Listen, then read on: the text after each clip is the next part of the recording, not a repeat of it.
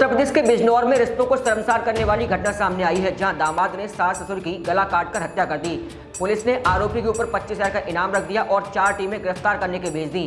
फ़िलहाल पुलिस ने आरोपी रिजवान को गिरफ़्तार कर जेल भेज दिया है।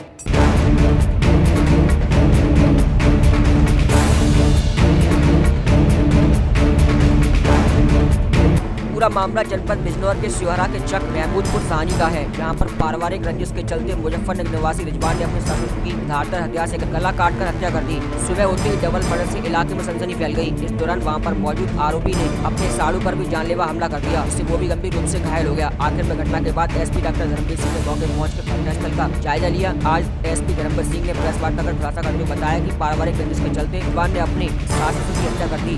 आरोपी रिजवान की हत्या में शामिल धारदार हथियार सहित गिरफ़्तार कर रिजवान को जेल भेज दिया है। सिहोरा के चक महमूद सानी में अंजुम ने अपने पति के खिलाफ एक अभियोग पंजीकृत कराया था, जिसमें उसका पति रिजवान ने चाकू से हमला करके अंजुम के माँ और बाप की हत्या किया था।